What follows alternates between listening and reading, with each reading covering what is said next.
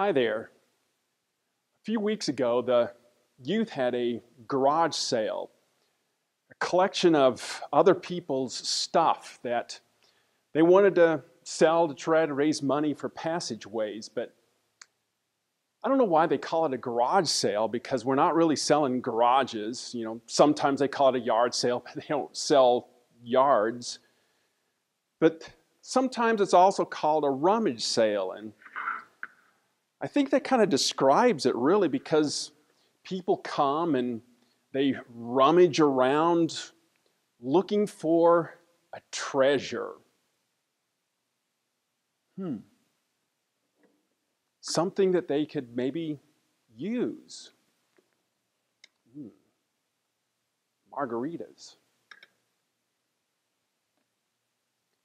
You know, at one time, all this stuff was someone's treasured possession. I mean, think about it.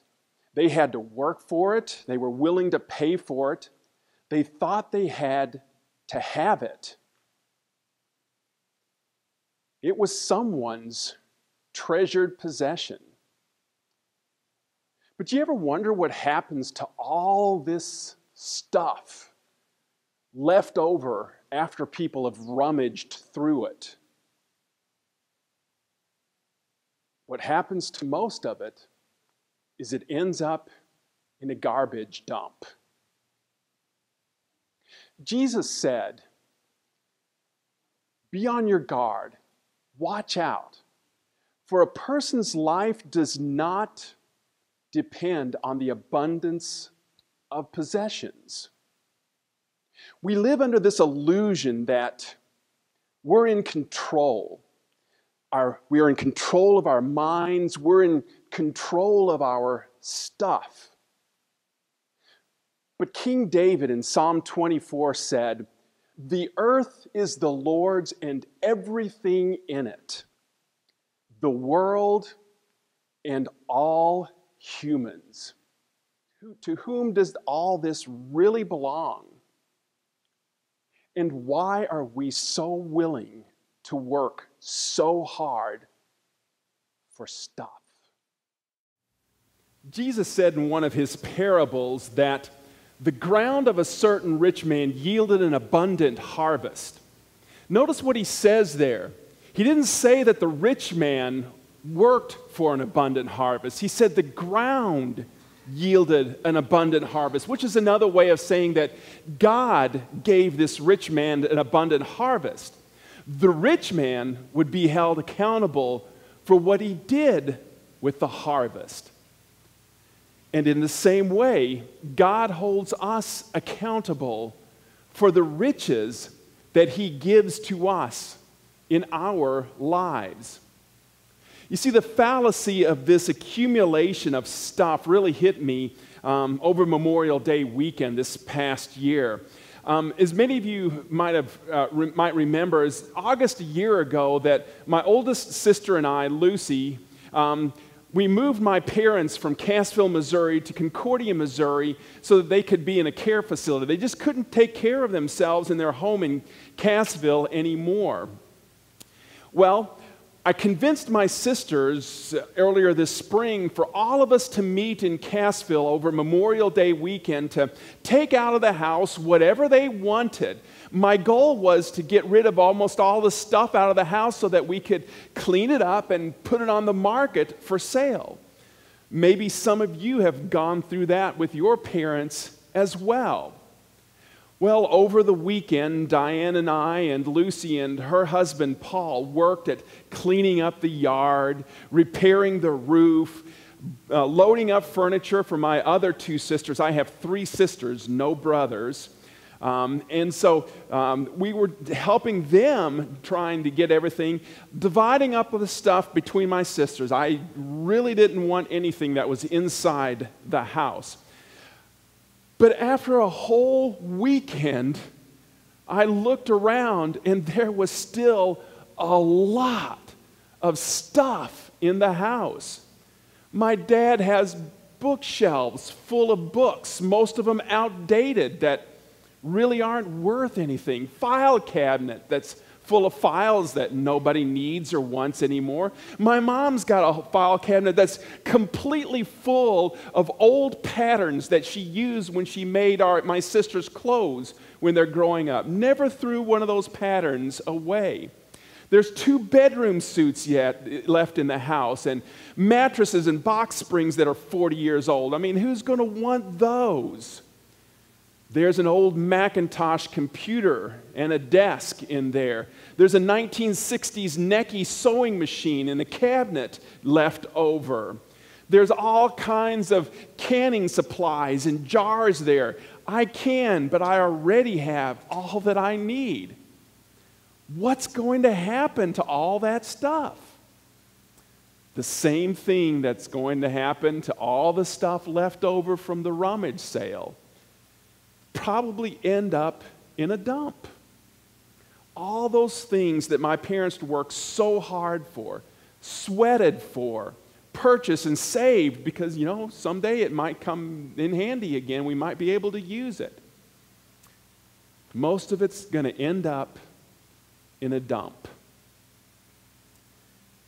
Why do we, all of us, from little on, collect so much stuff? I'll tell you why. It's in Scripture. God made us humans to be treasuring creatures. That's who we are. We are made to treasure things. That's the way God made us. We can't help ourselves. Of course, God's intent is that we would treasure Him, that He would be the one to fill that treasuring hole in our hearts. But sadly, that treasuring instinct was blurred and altered after the sin in the Garden of Eden. Sadly, our eyes turn away from the Creator to what He has created. I think that's why a lot of the Ten Commandments are really about what we treasure. Don't steal. Don't treasure other people's stuff. Don't covet. Again, don't treasure other people's stuff. Don't commit adultery. Don't treasure pleasure above God's rules. And you could probably make the argument that don't kill and don't lie are treasuring self above others as well. Jesus says in Matthew 6 Do not store up for yourselves treasures on earth where moth and rust destroy, where thieves break in and steal, but store up for yourselves treasures in heaven where moth and rust do not destroy and thieves do not break in and steal. For where your treasure is, there your heart will also be. Notice that Jesus didn't say, do not treasure. God knows that we will treasure. He made us treasuring creatures. He's warning us about what we treasure. He says, if you treasure things on earth, here's what's going to happen to them a moth's going to come in and put holes in that favorite shirt or suit or pants or fur coat of yours. Rust is going to take over that favorite automobile or motorcycle that you have. Your dream home is going to start to rot and decay all around you. Your precious toys are going to break. That TV and that computer, it's going to be obsolete in a year's time. Things do not last. Things do not satisfy they cannot fill that hole in our heart. To try to gain strength for the past several weeks, my, uh, Diane and I have been walking down 29th Street from our subdivision, and we usually head east. And about a half mile east on the sidewalk, there, right past a sandpit lake, has popped up one of these ubiquitous self storage units. They're building it right now. George Carlin, the comedian, said at one time that our houses are nothing but boxes built around our stuff. I think it's pretty true. Did you know, though, that the self storage industry is a $12 billion a year industry? It is more, has more in annual income than the music industry does now. We have outgrown our houses. We have the most square footage in houses in the history of the world, and it's still not enough to contain our stuff. I mean, when I was growing up, there was no such thing as self storage units. You know, in Arkansas, the backyard was the self storage place there, you know, where you find the junk car, the lawnmower, the wash machine and dryer, and things like that. Again, why do we have so much stuff? That's because the, chas- the between more and enough is a chasm so wide that a bridge can never span it. Think about it. Who's more content? The man with, a, with $12 million or the man with 12 children? It's the man with 12 children because he doesn't want more. Think of the lives that have been ruined for the pursuit of more. Howard Hughes amassed an incredible fortune. He literally owned several presidents of the United States, and yet he died a recluse, a drug abuser, mentally ill. Do you think if Howard Hughes had gained $1 million more, $5 million more, he would have been content? Marilyn Monroe was the talk of the town. She too had all she wanted. She even had a president. She died by her own hand, her life spiraling out of control. Do you think she would have been content if she would have been the cover of one more magazine, had one more hit movie? More is never enough. So, what do we do? God has a solution. And it's right in Scripture. God knows that we are treasuring people, and He tells us how to use that nature in a way that pleases Him and serves our neighbor, which, if we follow, says God, will have the side effect of bringing happiness and contentment to our lives. We sing a song in a hymnal with the words that says, what pleases God, that pleases me. So, what pleases God?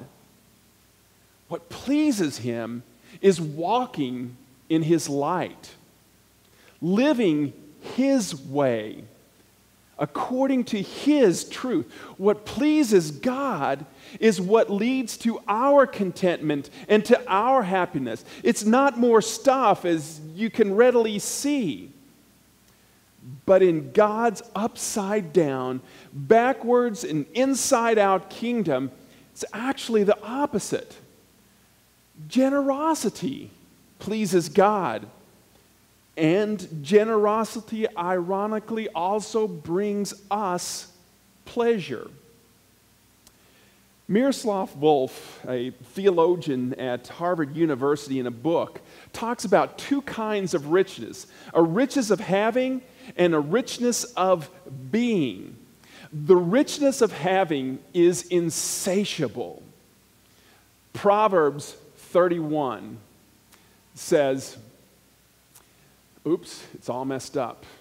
There are three things that are never satisfied, four that never say enough the grave, a barren womb, land which is never satisfied with water, and fire which never says enough.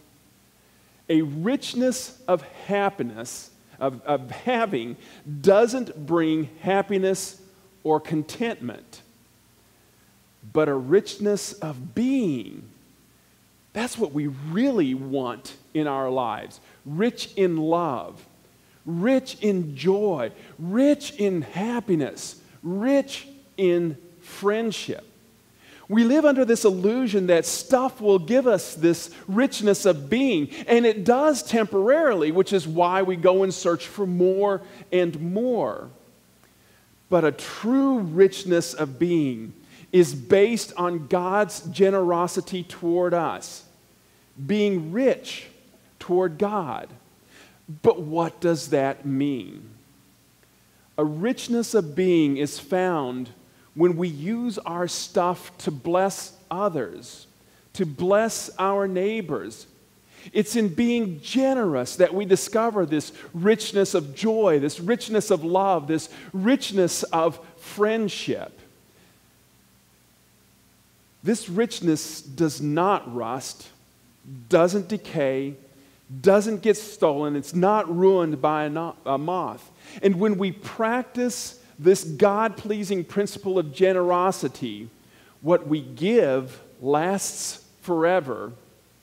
What we give mirrors God's heart because God is a generous God. And three, what we give brings joy to the world. We use stuff the way God intended. And the result is what we all truly seek a richness of being. We know that God is a God of generosity because He's given us the most generous gift of all. His Son, Jesus, is our Savior and our Redeemer. And He did this, as Romans said, while we were still sinners, while we were rebelling against Him, chasing after other gods, other things, treasuring stuff rather than treasuring our God. But the heart of God is one of giving. John 3:16 says that so clearly, for God so loved the world that he gave. God treasured you so much that he gave his one, his only son to buy you back into his eternal kingdom. His generosity, uh, he generously and completely paid the price for our sins, removing that selfishness of sin, cleansing our hearts so that our hearts could once again treasure what is eternal our Lord and our Savior, Jesus Christ. And in that, find a richness of being. God's will for your life is characterized by generosity. A fully formed follower of Christ practices generosity not to earn extra credit bonus points before God, but simply because of God's unlimited generosity to us, where we find true riches. We no longer treasure things because things don't last. We treasure God and we treasure God's people.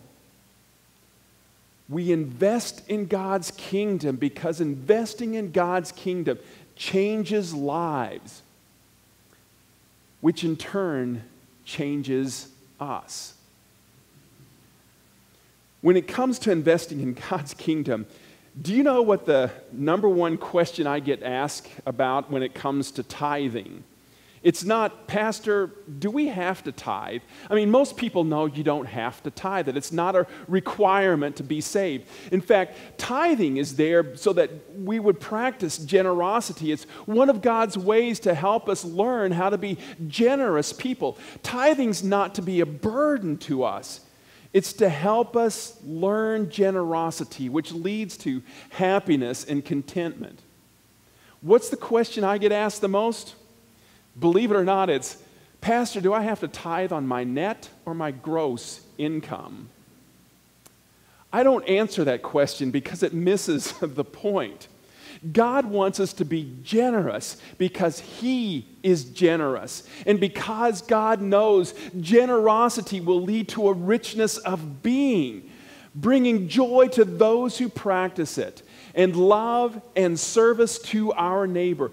Generosity is the best kind of living, it's what pleases God. And as God's treasured child, it's what pleases me as well. St. Paul says, Whoever sows sparingly will reap sparingly, and whoever sows generously will also reap generously. Generosity. It's what pleases God. It's a spiritual practice that helps us as well. And now may the peace of God, which surpasses our human understanding, keep your hearts and minds in Christ Jesus our Lord. Amen. We stand.